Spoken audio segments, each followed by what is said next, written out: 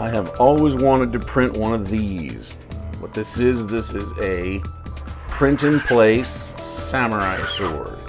This model prints exactly like that on the print bed and blades print inside of each other concentrically and then when you're done with it it deploys just fine like that this one I had a little bit of trouble with the very tip of it it tipped a little bit in the print so it was a little bit difficult to separate this but other than that it worked fantastically it's just the one little handle and then when you open it when you lift it up it opens into the nice decent length samurai sword print in place samurai sword.